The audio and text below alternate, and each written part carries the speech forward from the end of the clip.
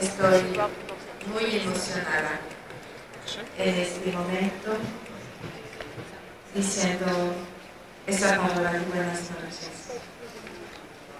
En primer lugar, quiero agradecer la grande calidad de este momento de a través del arte, a través de la oración, a través del canto, a través de la música, a través de la presencia de Jesús.